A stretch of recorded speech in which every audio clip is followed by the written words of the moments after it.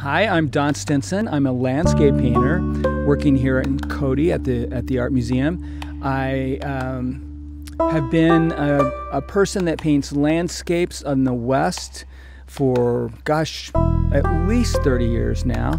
And what fascinates me are the ways human interact with the landscape. So I've been very interested in exploring the different ways we mess things up and the different ways we make things better.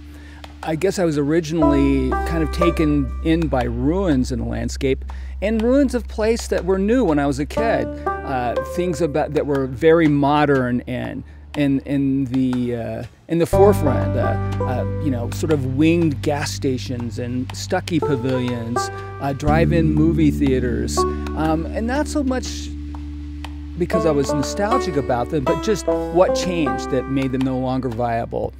So a lot of it's just about learning to love what's what we've done, and if it's not lovable, then maybe we should change it. If it's impossible to love, maybe we should change that. I've been working on a painting of uh, the Bob's Big Boy, which is west of Cody and east of Yellowstone.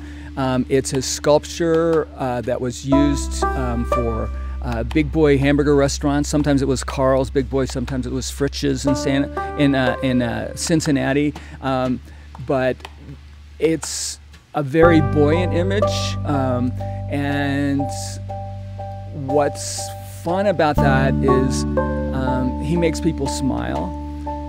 And he also kind of flips the box on the landscape.